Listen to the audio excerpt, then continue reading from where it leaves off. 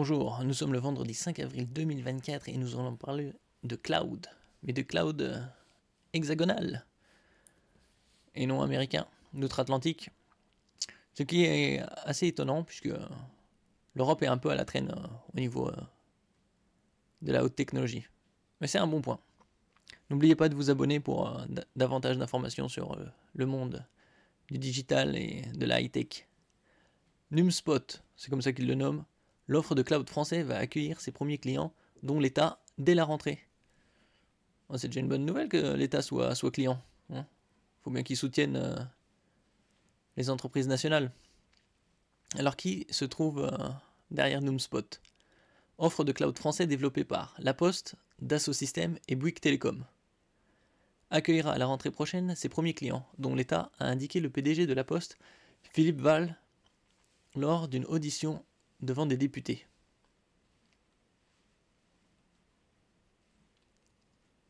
Ah si, il y a OVH euh, comme euh, cloud français. Numspot accueillera ses clients dès la rentrée.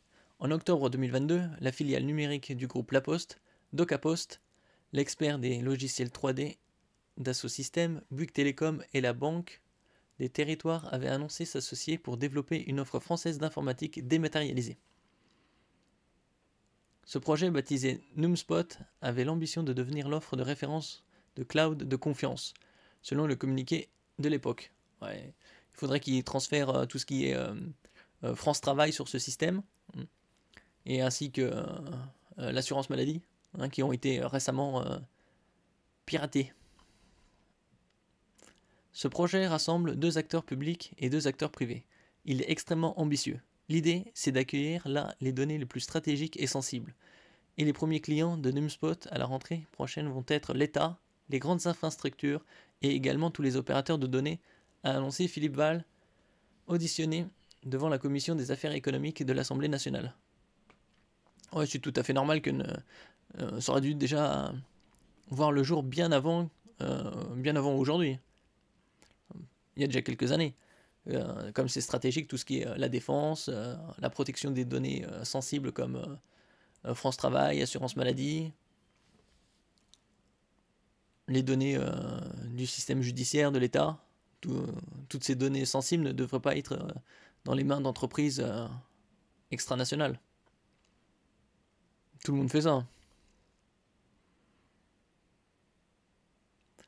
Ce ne sera pas immédiatement une solution pour le grand public, mais pour nous, ça va être un instrument de souveraineté numérique, a-t-il ajouté. Bon, alors si ce ne sera pas disponible pour le grand public, il euh, faudra peut-être attendre euh, quelques années. espérons pas trop longtemps. Hein. Peut-être dans deux ans.